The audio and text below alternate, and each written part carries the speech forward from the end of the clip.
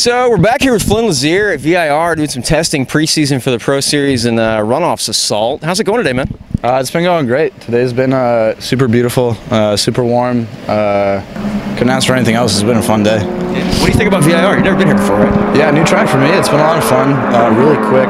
Uh, a lot of places where you're hanging out, so uh, I've been enjoying it a lot. Uh, yeah, can't complain. Yeah, it seems like your kind of track. You seem to kind of have fun just kind of playing around. I'm inside my helmet pretty much the whole time.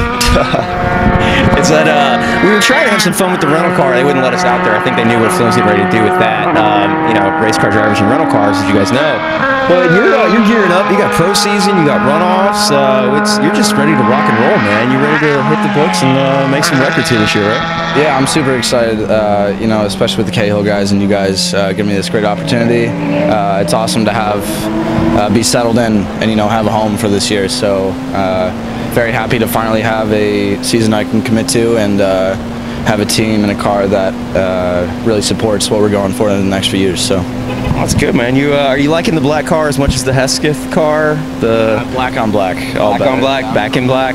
You know, black and white type of guy. You know, Hesketh is pretty cool, but I think for a season black would be better. I think the black is nice. It's uh, I like the little red accents too. It's kind of nice. Yeah, they jump out. It helps me anyway when I'm filming. Uh, so keep those, will you? Yeah, especially with the Iowa stuff on there, maybe make those red too. you black and red, yeah. Yeah, yeah. That's black and red. That's that'd be nice. Uh, well, man, you're you're obviously flying. Uh, we're you know I'm not going to throw out times because it's preseason, and uh, I don't want to letting you guys know how quick this guy really is. But uh, get ready. We'll be in Atlanta next weekend, and uh, you're coming for him, right? Yeah, it should be fun. See you then. Week and a half. Should be awesome.